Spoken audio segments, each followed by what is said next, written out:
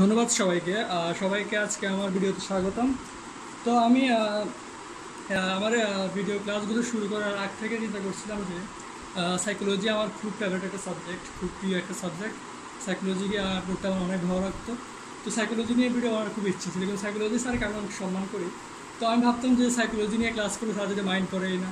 তো কালকে স্যার সাথে কথা হয়েছে? যে স্যারে আমার নিজে বলল যে, তুমি সাইকোলজি নিয়ে কেন ভিডিও করো সাইকোলজি নিয়ে ভিডিও করো বলে যে স্যারের তো এত সুযোগ থাকে না অনলাইন ক্লাসে এত বেশি অনলাইন ক্লাসগুলো করার এত সুযোগ থাকে না। তো আমি যদি করি তাহলে তো স্যারের একটু সুবিধা হতো। স্যারের জন্য কিছু করতে পারে আমার জন্য সত্যি অনেক ভাগ্য পেল কারণ স্যারের কাছে আমি অনেক অনেক ঋণী। তো সেজন্যই আসলে আজকে স্যারে বলছিল যে সাইকোলজি অর্থাৎ মনোবিজ্ঞানের প্রথম পত্র এবং দ্বিতীয় পত্রের নিয়ে দুটো ভিডিও বানাইতে। একটা হচ্ছে প্রথম পত্রের গুরুত্বপূর্ণ যে বিষয়গুলো আছে প্রত্যেকটা অধ্যায়ে, সেই বিষয়গুলো একটু চিহ্নিত করে দেওয়া যে কোন কোন বিষয়গুলো কীভাবে করতে হবে আর দ্বিতীয় পত্র ঠিক একইভাবে পরীক্ষায় কীভাবে কম করে বেশি নাম্বার তোলা যায় সেই বিষয়গুলো নিয়ে আলোচনা করতে স্যার বলেছে, ঠিক আছে? তো ওর ওই স্যারের কথার পরিপ্রেক্ষিতে আজকে আমার এই ভিডিওটি করা, তো শুরু করলাম, ঠিক আছে?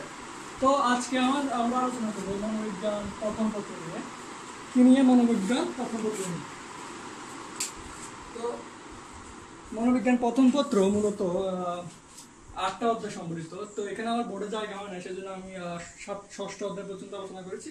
তো অষ্টম অধ্যায় এবং সপ্তম অধ্যায় অষ্টম অধ্যায় সম্পর্কে আলোচনা করব ইনশাল্লাহ তো শুরুতে আমরা যে প্রথম অধ্যায় যেটা দেখতে সেটা হচ্ছে মনোবিজ্ঞানের পরিচয়, মনোবিজ্ঞানের পরিধি ও সংজ্ঞা তো আমি এই বক্সে ট্রিপল স্টার আর ডাবল স্টার দিয়ে রেখেছি, ঠিক আছে? অর্থাৎ ট্রিপল স্টার যেগুলো টপিক ওইগুলো আপনাকে অবশ্যই, অর্থাৎ এগুলো আপনাকে অবশ্যই পড়তে হবে যদি আপনি এসএসসি সাইকোলজিতে ভালো মার্ক করতে চান। সেগুলো হচ্ছে মনোবিজ্ঞানের পরিধি ও মনোবিজ্ঞানের সংজ্ঞা। অর্থাৎ অবশ্যই একজন ছাত্রকে যে একদম একদম যার যে হিউম্যানিটিস গ্রুপের তার ইয়া আছে, মনোবিজ্ঞান আছে, তার অবশ্যই অবশ্যই তার মনোবিজ্ঞানের পরিধি সংজ্ঞা জানতে হবে। কারণ একটা বিষয় নিয়ে আপনি পড়তেছেন, ওই বিষয়টা সংজ্ঞা যদি না জানেন, ওই বিষয়টার পরিধি যদি না জানেন, ওই বিষয়টা কি নিয়ে কাজ করে সেটা যদি না জানেন, তাহলে সেটা কীভাবে হবে? বেসিক্যালি মনোবিজ্ঞান নিয়ে অনেক অনেক দার্শনিক, অনেক অনেক মন্তব্য করেন। এর ভিতরে দার্শনিক Wilhelm Wundt W B Watson আবার প্লাজ এরিস্টটল, অনেকেই মন্তব্য করেন। এর ভিতরে ডাব্লিউ বি ওয়াটসন সর্বাধিক আধুনিক সংজ্ঞাটি প্রকাশ করেন। উইলিয়াম উন্ডের মতে প্রাচীন মনোবিজ্ঞানের জনক উইলিয়াম উন্ডকে বলা হতো। তার মতে হচ্ছে, মনোবিজ্ঞান হচ্ছে মনোবিজ্ঞান আত্মার সাথে সম্পর্কিত। অর্থাৎ তিনি বিশ্বাস করতেন যে মনোবিজ্ঞান যে বিষয়টা সেটা হচ্ছে মানুষের আত্মা। কিন্তু আত্মা নামে কোনো বিষয় নেই। আত্মা কখনোই দেখা যায় না শোনা যায় না এটা মানুষ উপলব্ধি করতে পারে না। সুতরাং পরবর্তীতে আধুনিক বিজ্ঞানী সেটা সমর্থন করে না আধুনিক বিজ্ঞান সেটা রিজেক্ট করেছে। এর ফলে ডাব্লিউ বি ওয়াটসন মনোবিজ্ঞানের একটি সর্বাধিক গৃহীত একটি সংজ্ঞা সেটা হচ্ছে মনোবিজ্ঞানকে আচরণের বিজ্ঞান হিসেবে সংজ্ঞায়িত করেন কিসের বিজ্ঞান? আচরণের বিজ্ঞান। অর্থাৎ মনোবিজ্ঞান আচরণের বিজ্ঞান নিয়ে আচরণ করে। অর্থাৎ মানুষের, মানুষ এবং প্রাণী নিজস্ব চাহিদা মেটানোর জন্য, অর্থাৎ নিজস্ব চাহিদা মেটানোর জন্য যে সকল আচরণ করেন, ওই আচরণগুলো সমষ্টি নিয়ে মনোবিজ্ঞান পাঠ করে, ওই আচরণগুলো নিয়ে মনোবিজ্ঞান আলোচনা করে।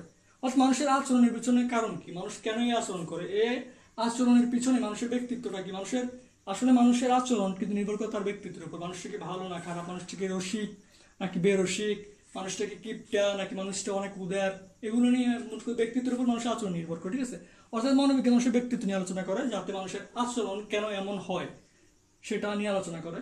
এর ভিতরে মনোবিজ্ঞানের প্রথম পত্রে কিছু বিষয় আছে মনোবিজ্ঞানের কিছু পরিধি বিষয় নিয়ে কথা বলা হয়েছে, যেগুলো হচ্ছে শিক্ষা মনোবিজ্ঞান কাউন্সিলিং মনোবিজ্ঞান চিকিৎসা মনোবিজ্ঞান সামাজিক মনোবিজ্ঞান বিভিন্ন বিষয় নিয়ে আলোচনা করে। কিন্তু আমার মনে হয় যে শিক্ষা মনোবিজ্ঞান আর কাউন্সিলিং মনোবিজ্ঞান এই দুইটা মনোবিজ্ঞান নিয়ে পড়লেই আপনাদের প্রথম অধ্যায় আর কিছু পড়ার দরকার নাই।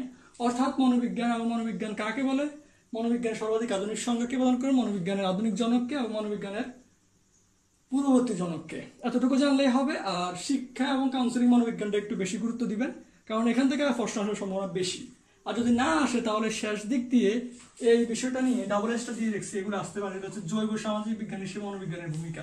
অর্থাৎ মনোবিজ্ঞান কিন্তু শুধু জৈব না সামাজিক না মনোবিজ্ঞান একটি জৈব সামাজিক বিজ্ঞান, কারণ মনোবিজ্ঞান মানুষের যেমন দৈহিক আচার আচরণ অর্থাৎ মানুষের আচার আচরণে দৈহিক যে মানুষের শারীরিক গঠন, মানুষের শরীরের ভিতরে যে অন্তঃকরা সমূহগুলো অন্তঃকরা গ্রন্থি সমূহগুলো আছে, এগুলো মানুষের মানুষের কেন্দ্রীয় স্নায়ুতন্ত্র, মানুষের স্নায়ুতন্ত্র, মানুষের অন্তকরা গ্রন্থি সমূহ যে কীভাবে মানুষের আচরণের উপর প্রভাব বিস্তার করে, সেটা নিয়ে আচরণ করে, অর্থাৎ জৈব, অর্থাৎ মানুষের জৈবিক দিক নিয়ে আলোচনা করে এবং সামাজিক দিক নিয়ে আলোচনা করে, অর্থাৎ মানুষের বিকাশ নিয়ে আলোচনা করে। একটা শিশু জন্ম পর থেকে একটা পরিবেশের সাথে কীভাবে বিকাশ হতেছে পরিবেশের সাথে কীভাবে অভিযোজিত হইতেছে কীভাবে নতুন নতুন নতুন জিনিস করতেছে, নতুন নতুন অভিজ্ঞতা নিতেছে, এটা নিয়ে আলোচনা। সুতরাং মনোবিজ্ঞান জৈব এবং সামাজিক, অর্থাৎ মানুষের দৈহিক এবং সামাজিক দুই জীবন নিয়ে আলোচনা করে বলে মনোবিজ্ঞানকে জৈবিক সামাজিক বিজ্ঞান বলে, ঠিক আছে আরেকটা জিনিস হচ্ছে অন্যান্য শাখার সাথে সম্পর্ক, অর্থাৎ ডাবল স্টার আমি দিয়েছি যে মনোবিজ্ঞানের সাথে অন্যান্য শাখা মানে সামাজিক বিজ্ঞান অন্যান্য শাখা আছে না যেমন সমাজকর্ম আছে পৌরনীতি আছে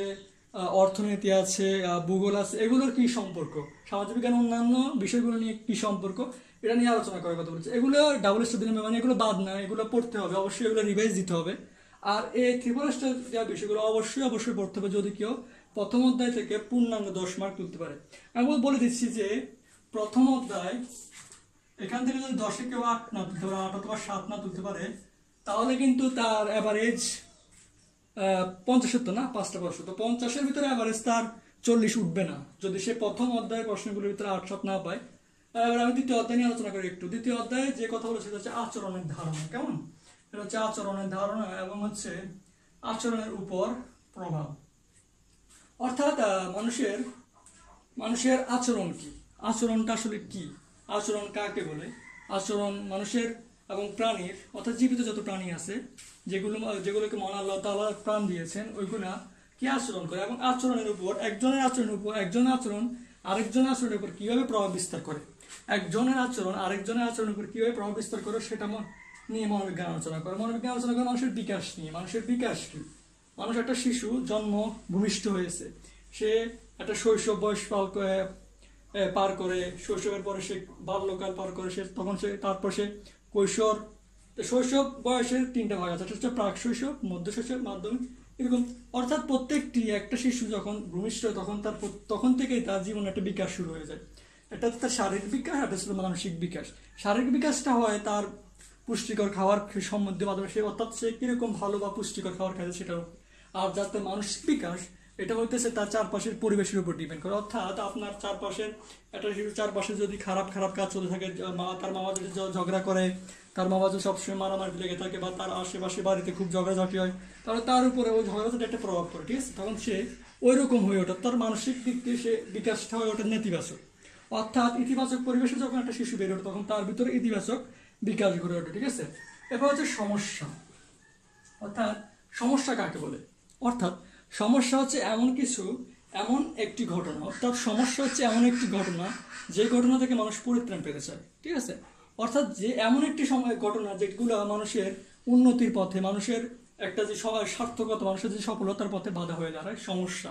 আর এটা থেকে মানুষ সবসময়, এই যে পৃথিবীর শুরু থেকে মানুষ সমস্যা থেকে পরিত্রাণ পেতে চাইছিল।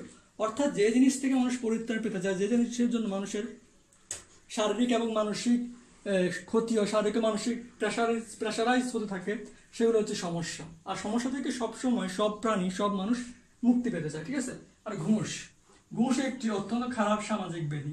ঘুষটা কি? ঘুষটা হচ্ছে যে আপনি, আপনার দায়িত্ব হচ্ছে কাউকে সাহায্য করা, কিন্তু আপনি ওই দায়িত্বটা পালন করতেছেন, কিন্তু তার বিনিময়ে আপনি যাকে সাহায্যটা দিতেছেন, যাকে সেবা দিতেছেন, তার কাছ থেকে অধিক টাকা নিতেছেন, তাকে অতিরিক্ত টাকা দাবি করতেছেন। তো এটা নিশ্চয়ই খারাপ।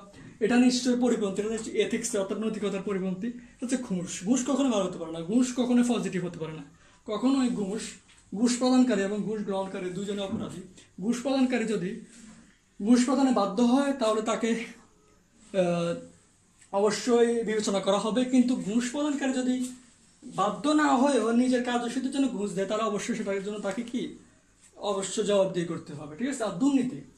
দুর্নীতি আর ঘুষ প্রায় একই দলের মানুষ, একই নৌকার মাঝি বলা চলে। দুর্নীতি হচ্ছে যে এমন একটি নেতিবাচক দিক যেখানে মানুষ খারাপ কুসঙ্গ খারাপ একটা পথ অবলম্বন করে, যেখানে মানুষ স্বজনপ্রিয়তা করে, যেখানে মানুষ পক্ষপাতিত্ব করে, যেখানে মানুষ টাকা খেয়ে একজনের পক্ষে কাজ করে এবং দুস্থ, দরিদ্র এতিমদের যারা বন কি বলে, বঞ্চিত করে, যার অধিকারটা পাওয়ার কথা। অর্থাৎ এখানে একটা, এখানে একটা আম গাছ আছে। আম গাছের মালিক হচ্ছে করিম মিয়া। এখন রহিম মিয়া যদি চেয়ারম্যান অর্থাৎ গ্রামের চেয়ারম্যান সলিমুদ্দিনের কাছে যায়, গিয়ে বলে যে করিমের আম গাছটা তো আপনি জানেন যে এটা করিমের কিন্তু আমি চাই এটা আমার অর্থাৎ রহিমের হয়ে যাক। তো রহিম এটার জন্য চেয়ারম্যানকে ধরেন পাঁচ হাজার টাকা ঘুষ দিল। ঘুষ দেওয়ার পর কি করল? চেয়ারম্যান ঘুষ খেয়ে করিমের আম গাছটি সালিশে রহিমের নামে চালালো। তো এটা কি? এটা তো একজনের দুর্নীতি, অর্থাৎ আপনি যদি টাকা খেয়ে, অর্থাৎ আপনি যদি টাকা খেয়ে যে আসল পাওনাদার, যে আসল প্রাপ্য, যে সম্পত্তিটি পাওয়ার মূল ভাগিদার, সেটি তাকে না দিয়ে যে আপনাকে টাকা দিয়েছে অসৎ উপায়ে, আপনি যদি সেটা অবলম্বন করেন সেটা দুর্নীতি হতে পারে। দুর্নীতি অনেক রকম হতে পারে। দুর্নীতি মানসিক, দুর্নীতি শারীরিক, দুর্নীতি আর্থিক, বিভিন্নভাবে হতে পারে দুর্নীতি, ঠিক আছে?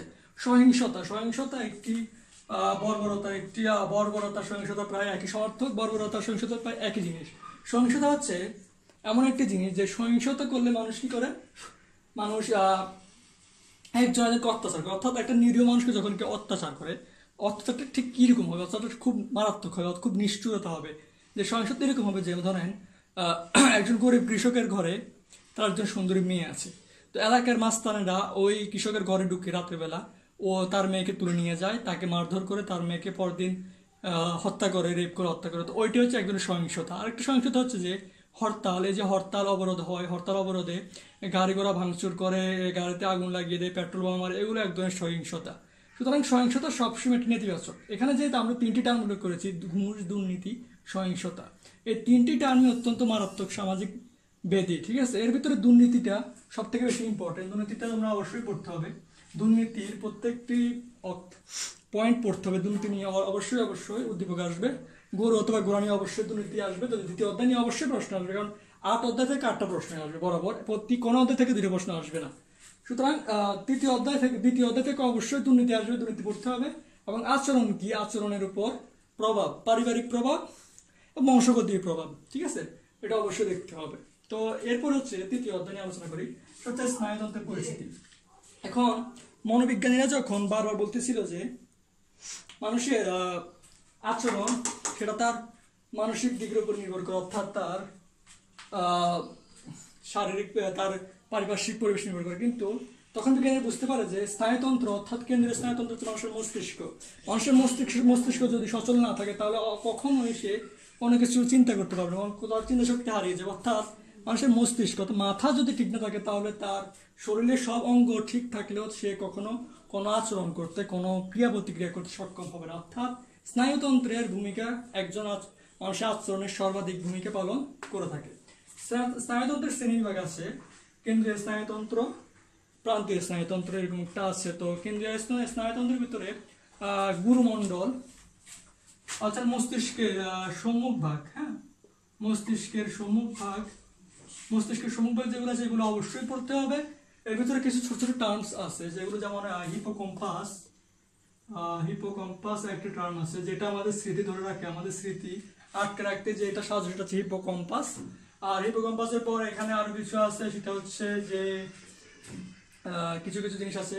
আর গ্রন্থ, আরেকটা জিনিস হচ্ছে যে সম্মুখ ভাগের সম্মুখ মস্তিষ্কের সম্মুখ ভাগে সবটাই পড়তে হবে। এখানে কোনো কিছু বাদ দেওয়া। এখানে গুরুমণ্ডল গুরুমণ্ডল যা আছে সব কিছু পড়তে হবে। গুরুমণ্ডল, লঘুমণ্ডল সব কিছু পড়তে হবে। Everything you have to read about central neuro system okay তো এটা অবশ্যই দেখতে হবে। আর একটা জিনিস হচ্ছে আরটা হচ্ছে আমাদের আচরণের উপর আরেকটা জিনিস প্রভাব বিস্তার করে, সেগুলো হচ্ছে প্রান্তীয় স্নায়ু, যত হচ্ছে করটীয় স্নায়ু আমরা যেগুলোকে বলি, এগুলো হচ্ছে আমাদের বিভিন্ন আমাদের মাথার শেষ ভাগ থেকে, অর্থাৎ করটি অর্থাৎ খুলির শেষ ভাগ থেকে ঠিক আপনারা একটা গাড়ির পেয়ে হাত দিলে দেখবেন যে একটা হার গেছে। এটা ভাঙা ভাঙা ভাঙা ভাঙা মনে হয়। এটা হচ্ছে মেরুদণ্ড।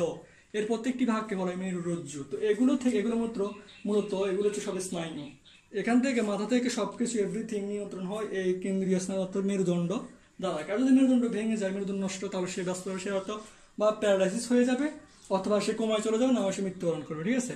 অর্থাৎ এতটুকু বললাম, আর গ্রন্থি।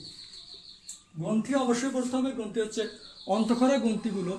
অবশ্যই অবশ্যই পড়তে হবে। কারণ অন্তঃক্ষরা গ্রন্থিগুলোই হচ্ছে আচরণের অন্যতম নিয়ামক। অন্তঃক্ষরা গ্রন্থি থেকে কিছু কিছু এক ধরনের দ্রব্য বেরোয় যেগুলোকে বলা হয় হরমোন। তো এগুলোই মানুষের একটা কাজের জন্য, একটা আচরণের জন্য উদ্দীপক স্বরূপ কাজ করে। কি স্বরূপ কাজ করে?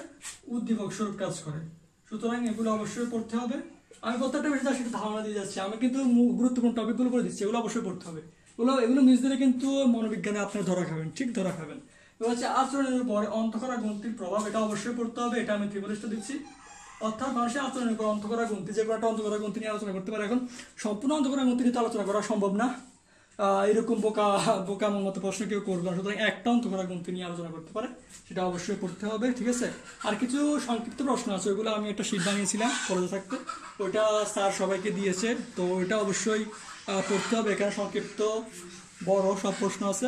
ওই শিটগুলো যে ভালো মতো মুখস্থ করতে পারবে, ভালো মতো পড়তে, বুঝে পড়তে পারবে তার এটা পড়া এটা জানা দরকার, এই ভিডিওটা দেখার দরকার নেই।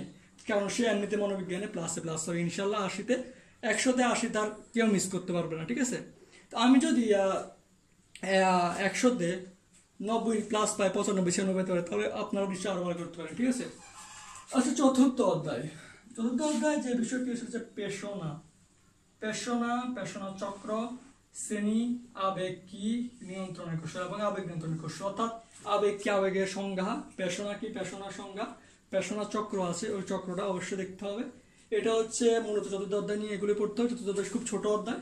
এটা জাস্ট একটু বুলিয়ে দেখলে হবে, অবশ্যই এটা থেকে একটা প্রশ্ন আসবে। সুতরাং এই অধ্যায়টা হচ্ছে টার্ম কার্ড এখানে আমি বলে রাখি যে প্রথম অধ্যায় এবং চতুর্থ অধ্যায় কিন্তু টার্ম কার্ড এই দুটো অধ্যায় একদম সহজ এবং এই দুটো অধ্যায় থেকে অবশ্যই দুটো প্রশ্ন আসবে। সুতরাং এই দুটো অধ্যায়ও যে ভালো মতো পড়া যাবে, সে বিশ্বে আনসার করে আসতে পারবে ইনশাল্লাহ এবার হচ্ছে পঞ্চম অধ্যায়। পঞ্চম অধ্যায় হচ্ছে শিক্ষণ।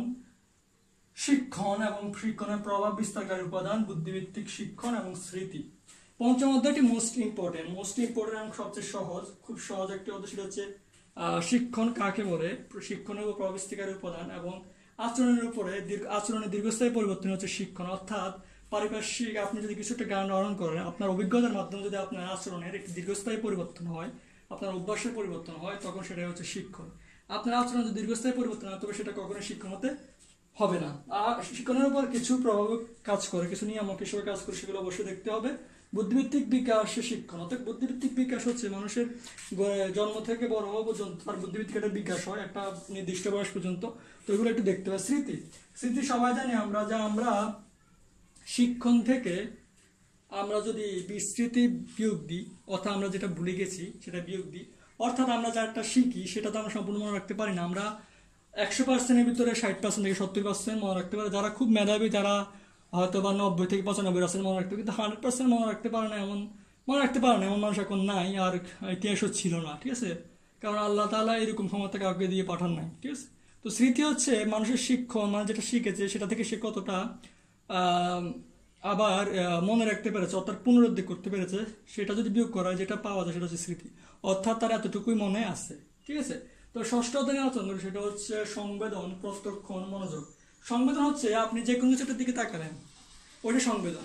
আপনার চারপাশ থেকে আওয়াজ আসছে, আপনি অনেক কিছু দেখতেছেন, সব কিছু দেখতেছেন। মানে আপনি কুমিল্লা থেকে ঢাকা দিচ্ছেন আপনি বাসে, জানালা দিয়ে অনেক কিছু দেখতেছেন।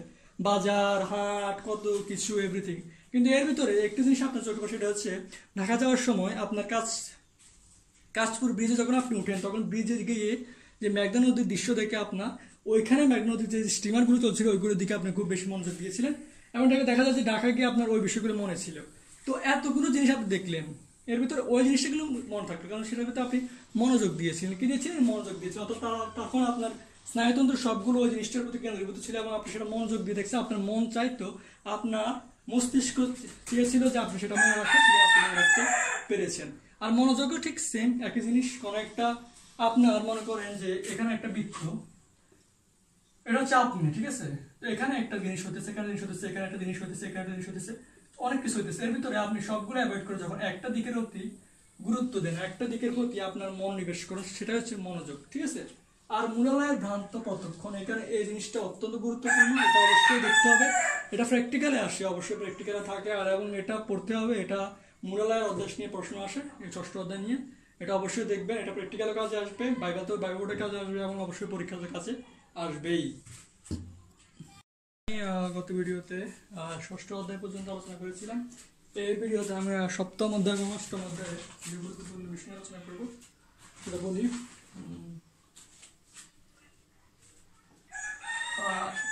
সপ্তম অধ্যায়টি মূলত হয়েছিল হচ্ছে বয়স বয়সন্ধিকাল ও মানসিক স্বাস্থ্য নিয়ে। অর্থাৎ বয়সন্ধিকাল আমরা জানি যে এমন কেউ নেই যে যে বয়সন্ধিকাল পার করে আসেনি। বয়সন্ধিকাল হচ্ছে এমনটি সময়, বিশেষ করে মেয়েদের ক্ষেত্রে এগারো এগারো থেকে ষোলো বছর পনেরো বছর এবং ছেলে থেকে বারো থেকে ষোলো বছর। এটা হচ্ছে মেয়ে ছেলে। এই ক্ষেত্রে এগারো থেকে পনেরো পর্যন্ত মেয়ে এবং বারো থেকে ষোলো পর্যন্ত ছেলে। সাধারণত জেনারেলি যেটা ইঞ্জিনিয়ারিং বলা যায়, যেটা হচ্ছে বয়সন্ধিকাল সময়। কিন্তু এর বাইরেও আছে। অনেকের আছে যে এগারো বছর আগে বয়সন্ধিকাল চলে এসেছে। আবার অনেকের এসেছে যে বিশ বছর পর বয়সন্ধিকাল আসে না হচ্ছে অনেকের শারীরিক অনেক সমস্যা থাকে। শারীরিক অনেক কম কমপ্লেক্সিটিসের জন্য অনেক সমস্যার কারণে অথবা পরে বা হতে পারে, ঠিক আছে? কিন্তু জেনারেলি আমরা এটা বলতে পারি যে এগারো থেকে পনেরো হচ্ছে মেয়েদের বয়সন্ধিকাল আর বারো থেকে ষোলো হচ্ছে ছেলেদের বয়সন্ধিকাল তো এক্ষেত্রে বয়সন্ধিকালের ধারণাটা শিখতে হবে যে বয়সন্ধিকাল কাকে বলে? বসন্তকালের বৈশিষ্ট্য অবশ্যই শিখতে বসন্তকালের বৈশিষ্ট্য বসন্ত বৈশিষ্ট্য বসন্তকালে ছেলে এবং মেয়েদের যে মানসিক পরিবর্তন, যে শারীরিক পরিবর্তন, এগুলো অবশ্যই দেখতে হবে। এগুলো পড়তে হবে, কারণ এখান থেকে সপ্তম অধ্যায় বলছি। প্রথম অধ্যায়, চতুর্থ অধ্যায় এবং সপ্তম অধ্যায়, এই তিনটি অধ্যায় যে পড়বে না, সে হচ্ছে বোকা। এই তিনটা অধ্যায় যে পড়ে যাবে, সে অবশ্যই মনোবিজ্ঞানে অ্যাটলিস্ট তিরিশে পঁচিশে আনসার করে আসতে পারবে সৃজনশীলে, ঠিক আছে? আচ্ছা মানসিক স্বাস্থ্য। মানসিক স্বাস্থ্য হচ্ছে মানুষের মানসিক স্বাস্থ্য হচ্ছে মানুষের শারীরিক স্বাস্থ্য হচ্ছে মানুষের শারীরিক বিভিন্ন অঙ্গ প্রত্যঙ্গ যেগুলো আছে, মাথা থেকে পা পর্যন্ত এগুলো সুস্থ থাকে হচ্ছে শারীরিক সুস্থতা। মানসিক স্বাস্থ্য হচ্ছে মানুষের মাথা ঠিক থাকে, অর্থাৎ মানুষের মন ঠিক থাকে। মানুষের মন কি ভালো অবস্থায় আছে কিনা? মানুষের মন কোনো, মানুষের মন খারাপ আছে কিনা? মানুষের স্বাস্থ্য ঠিক না থাকলে মানুষ যে কোনো কিছু করতে পারে। মানুষ মানুষকে খুন করে নিজেকে নিজে মেরে ফেলতে পারে, অন্যের ক্ষতি করতে পারে এক কথায় অর্থাৎ মানসিক স্বাস্থ্য, শারীরিক স্বাস্থ্য থেকে অতি বেশি গুরুত্বপূর্ণ একটা মানুষ যদি সবকিছু ঠিক থাকে, অর্থাৎ তার হাত থেকে, মাথা থেকে পা পর্যন্ত সব অঙ্গ ঠিকঠাক সে একজন সুতন্ত্রের অধিকারী কিন্তু তার মাথা খারাপ। অর্থাৎ তার মানসিক স্বাস্থ্য ঠিক নেই, তখন সে অবশ্য- অবশ্যই সে এত কিছু থাকার পরে সে একদম এই সমাজ জন্য সে বোঝা এবং ক্ষতিকর, কারণ সে যে কোনো কিছু করতে পারে। অর্থাৎ মানসিক স্বাস্থ্য এটা গুরুত্বপূর্ণ বিষয়। তো মানসিক স্বাস্থ্য, অর্থাৎ আধুনিক মনোরোগ বিজ্ঞানের জনক বলা হয় ফিলিপ প্যানেলকে, যিনি সর্বপ্রথম মনোরোগ বিজ্ঞানের উপর, মনোরোগ চিকিৎসার উপর জোর দেন। আর সাইকেট শব্দটি সর্বপ্রথম ব্যবহার করেন আঠারোশো আট সালে জোহান ক্রিস্টিয়ান। জোহান ক্রিস্টিয়ান আঠারোশো আট সালে সর্বপ্রথম সাইকিয়াট্রি এই শব্দটি ব্যবহার করে থাকেন, ঠিক আছে? আর আধুনিক মনোরোগ বিজ্ঞানের জনক বলা হয় ফিলিপ পিনেলকে এটা মনে রাখবে। এমসিকিউতে আসতে পারে, ঠিক আছে? বাংলাদেশের মানসিক স্বাস্থ্য ঝুঁকি অত্যন্ত ইম্পর্টেন্ট এটা ট্রিপল স্টার কারণ বাংলাদেশের মানসিক স্বাস্থ্য ঝুঁকি অবশ্যই আছে। বাংলাদেশের যে মেন্টালগুলো আছে, বাংলাদেশের মানুষের, যে মানসিক হাসপাতালগুলো আছে, এগুলো যথেষ্ট স্বাস্থ্যকর না। এখানকার যে নার্সগুলো আছে, এগুলো যথেষ্ট ফ্রেন্ডলি না। অর্থাৎ একজন মানসিক রোগীর সাথে যে ব্যবহার করতে হয়, সেগুলো ওরা করতে পারে না। অর্থাৎ তারা যথেষ্ট অয়েল ট্রেন্ড না, একজন মানসিক রোগকে রোগকে চিকিৎসা করতে হলে যে জিনিসটা খেয়াল রাখতে সেটা হচ্ছে তার আশেপাশের পরিবেশ অবশ্যই হেলদি থাকতে হবে। অর্থাৎ পরিষ্কার পরিচ্ছন্ন থাকতে হবে তার আশেপাশের পরিবেশ। যদি তার আশেপাশের পরিবেশ পরিষ্কার পরিচ্ছন্ন না থাকে তাহলে তাকে যত ওষুধ দেওয়া হোক তাকে ঠিক করা যাবে না। আসলে মানসিক রোগীকে কখনো কোনো ওষুধ দিয়ে ঠিক করা যায় না। তার ওষুধ দরকার হচ্ছে সেটা হচ্ছে তার পারিপার্শ্বিক পরিবেশ ঠিক রাখতে হবে। তার সাথে সবাই সৎ ব্যবহার করতে হবে সবাই ভালো ব্যবহার করতে হবে তাকে বুঝাতে হবে তাকে মনোবল দিতে হবে। তাকে এটা বুঝতে হবে যে দুনিয়াতে মানুষ হয়ে জন্মানোটা আসলে ভাগ্যের ব্যাপার এটা বুঝতে হবে। আর মানুষের আহ, মানসিকভাবে বিকারগ্রস্ত এমন কোনো লোক কখনোই খারাপ কথা বা চাপমূলক কোনো কথা বলা অবশ্যই উচিত নয় কারণ এতে তার ক্ষতি হতে পারে। আর মানসিক রোগী থেকে সবসময় সচেতনভাবে ব্যবহার করা, তাকে হেয় না করা, তার সাথে ভালো ব্যবহার করাই হচ্ছে একজন নার্সের দায়িত্ব। কিন্তু দেখা যায় যে বাংলাদেশের অধিকাংশ হাসপাতালগুলো, মানসিক হাসপাতালগুলোতে যথেষ্ট ভালো পরিবেশ নাই। মানসিক হাসপাতালে যথেষ্ট ভালো পরিবেশ নাই, যথেষ্ট ভালো ব্যবহার পায় না তারা। অর্থাৎ তারা মানসিক হাসপাতালে গেলে ভালো হওয়ার থেকে মাত্র টোয়েন্টি পার্সেন্ট লোক ভালোই আসে এবং বরাবর এইটি পার্সেন্ট লোক খারাপই থেকে, যত পাগলই থেকে যায়। এখন আমি অষ্টম অধ্যায় নিয়ে কিছুটা আলোচনা করি। আসলে অষ্টম অধ্যায় প্রথম পত্র, মনোবিজ্ঞানের প্রথম পত্র অষ্টম অধ্যায়। জাস্ট একটা অ্যাভয়েডিং চ্যাপ্টার এটা আপনার শুধু এমসিকিউর জন্য পড়লে ভালো হবে। কখনোই অষ্টম অধ্যায় অঙ্কটা দেওয়ার চেষ্টা করবেন না, কারণ এটা দিতে গেলে আপনার সময় বরবাদ হবে এবং আপনি অঙ্ক করতে করতে কনফিউজ হয়ে যাবেন। তো এটার নাম্বার মিস হবে এবং ওইগুলোর নাম্বার মিস হবে। অর্থাৎ অষ্টম অধ্যায় আমার কথায় সৃজনশীলের জন্য বাদ দেওয়াটাই হচ্ছে ব্যাটার ঠিক আছে?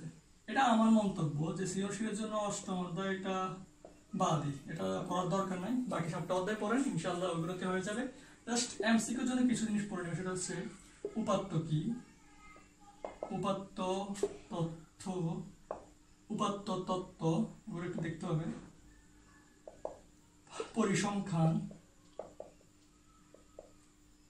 গড়, মধ্যক, প্রচুরক এগুলো জাস্ট একবার দেখতে হবে, এগুলো সূত্রগুলো মুখস্থ করতে এবং সংখ্যাগুলো অবশ্যই মুখস্থ করতে হবে। প্রস- পরিসর, এগুলো, এই জিনিসগুলো, এই টার্মগুলো অবশ্যই পড়তে হবে অষ্টম অধ্যায়ের জন্য। আর বিশেষ করে বেসিক্যালি একদম বিশেষ করে পড়ার দরকার নেই, এই গড় মধ্যে প্রচুর, এগুলোর কিছু সূত্র আছে এবং ছোটখাটো কিছু অঙ্ক আছে, ওইগুলোর, ওই অঙ্কগুলো একটু প্র্যাকটিস করবেন, দেখবেন যে এমসিকিউতে যথেষ্ট ভালো করবেন। আর যদি আপনার অষ্টম অধ্যায় করতে আপনি খুব আগ্রহী হন, যে অষ্টম অধ্যায় থেকে আপনি অবশ্যই অঙ্ক দেবেন, তাহলে অবশ্যই দিয়ে যদি কনফিডেন্স থাকে যে আপনার ওই অঙ্কটা আপনি হান্ড্রেড টেনে টেন পাবেন, ঠিক আছে? অবশ্যই দিতে পারলে দশে দশ কিন্তু আপনার মিস যাবে না, কিন্তু যদি এটা এটা লিখতে গিয়ে অন্যান্য কষ্ট টাইম খান, তাহলে কিন্তু ধরা খাবে। অর্থাৎ অষ্টম অধ্যায় অ্যাভয়েড করার চেষ্টা করবেন, যদি পারেন, করবেন, নাহলে পড়ার দরকার নাই। ঠিক আছে? ধন্যবাদ সবাইকে। এই ভিডিওটি সম্পূর্ণভাবে আমি করেছি আমার স্যারের জন্য, এতটুকুই।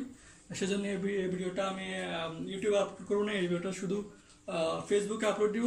যারা এসএসসি এক্সামে নিয়ে আসেন তারা দেখবেন, ঠিক আছে? থ্যাংক ইউ সবাইকে।